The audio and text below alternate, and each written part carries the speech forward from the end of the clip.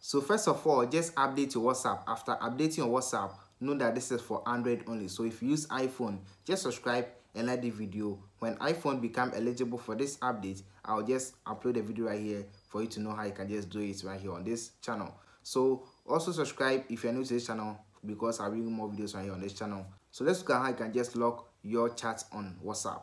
Let's start.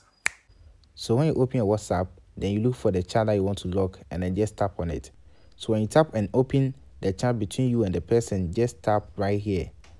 Just tap to go to the profile of the person you are chatting with.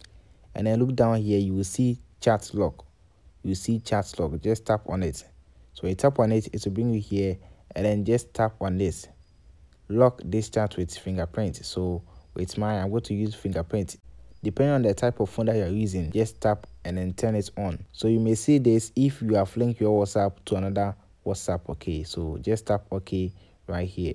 And then here you're going to use your fingerprint or you're going to enter your password depending on the one that you're using or the one that it will pop up for you to just select okay?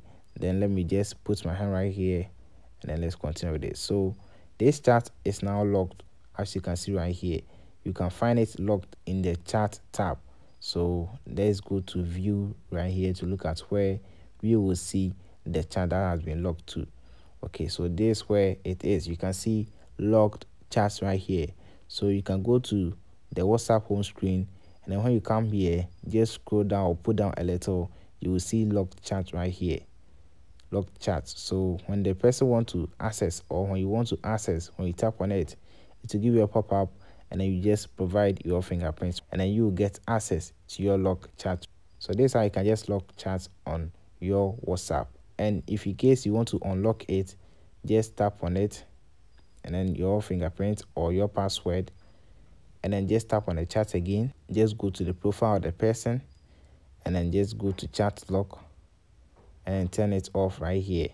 But you need to provide your fingerprint or your password. And then put it there. And then it will be deactivated right here. So this how you can just do it.